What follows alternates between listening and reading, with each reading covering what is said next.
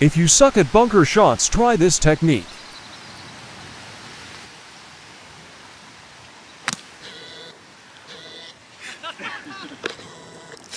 Damn, what a shot.